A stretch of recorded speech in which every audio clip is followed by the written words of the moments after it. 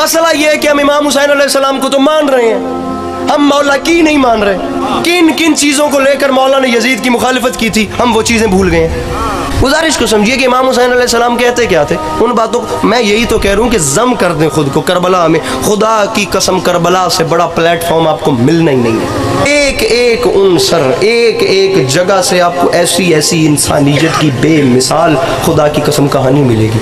मैं हर जगह पे जाके इत्तेहाद और इतफाक़ की बातें इसलिए कर रहा हूँ। साहिबान मिंबर के सामने भी गुजारिश करूँगा कि जो बाहर से आए, उसको सीने से लगाइए, ताकि उसे पता चले कि हुसैन कौन थे, हुसैन क्या थे, हुसैन ने इंसानियत के लिए क्या किया। जो बाहर से आए, उसको सीने से लगाइए। उसको पता चले कि हमने किन को माना है।